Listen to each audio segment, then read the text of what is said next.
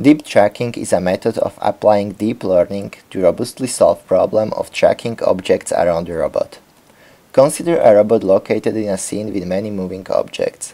Due to occlusions, not all the objects are visible all the time. We utilize a deep recurrent neural network architecture to filter stream of raw sensor input and directly produce positions of all objects as an output.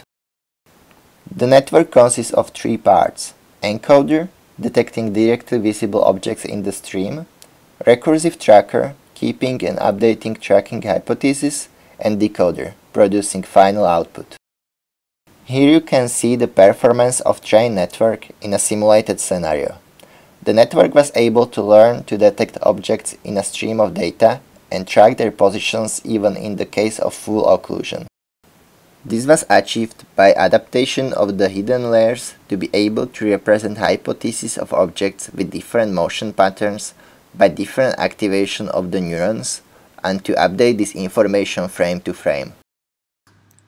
This system can be trained in a completely unsupervised way using only sensor data without the need of access to the ground truth. The network first learns how to correctly predict shape of directly visible objects and later is able to track their positions through occlusions. Our approach is universal. It can predict situation in near future as well as to track objects of different shapes while demonstrating high robustness to the sensor noise.